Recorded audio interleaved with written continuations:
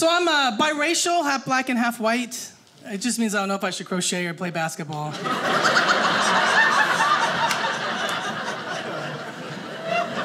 you know, grilled chicken or fried chicken. But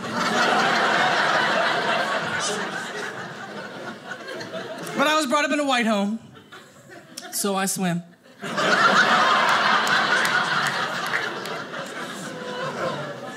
It's an easy joke for the white people to laugh at. Black people are like, that was funny, but I will cut you after the show. but I married a black man like a Owen, like a dark brother too, so there's no question. But I do not understand black culture at all. My husband's cousin, my husband's cousin comes to town. and I'm like, hey man, you wanna come to one of my shows? And he's like, oh yeah, yeah, for sure. No, dude, not four shows. Just one show? Did you want to come to my show? And he's like, I said for show. I'm like, I don't, I don't understand the language of the black people. Uh, I just turned to my husband for some interpretation. My husband just steps over to my white side and says, For sure, he's coming to your show for sure. I'm trying to get the moment back for show, for show.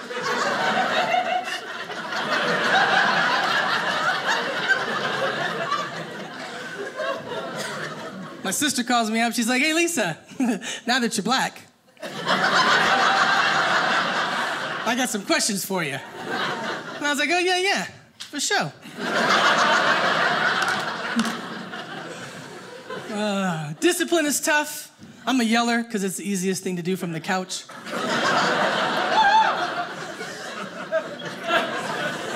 but my husband does this thing that I call confusion discipline. This is what it looks like. Kid does something wrong, they get a spank on their butt.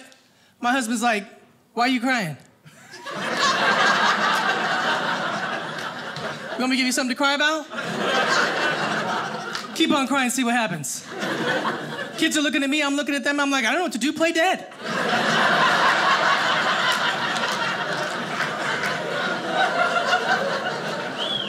Works with the bears.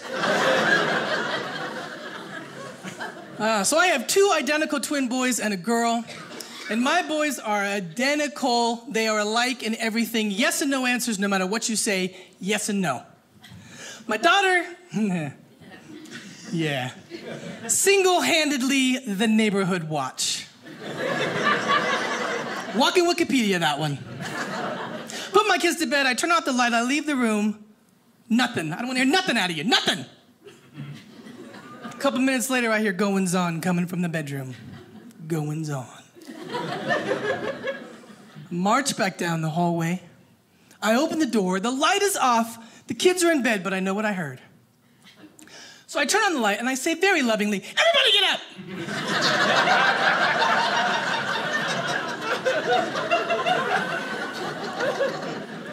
I said, Boys, you get out of bed, turn on that light. And the boys are like, Nope. I said, Zoe, did you get out of bed and turn on that light? And Zoe said, No.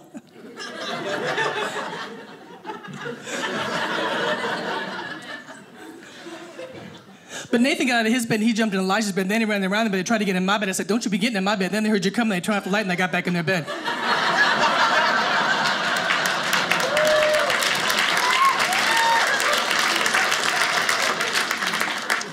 Even know what to say.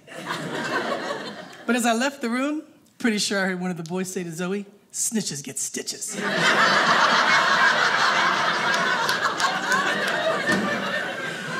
they picked that language up when they're home alone with their dad. I walked in the house and I heard the kids chanting one day, Jerry, Jerry, Jerry. And then my daughter looks at my husband and says, You are not the father. Lisa Gilbert. You guys have been amazing. Thank you so much.